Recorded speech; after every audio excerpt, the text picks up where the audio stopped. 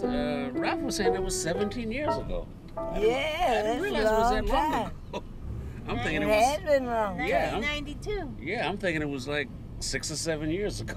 no. Yeah, yeah, it was uh, 17 years ago. Just think about that. Yeah, so that's that was the first time, uh, first time meeting in, in the studio.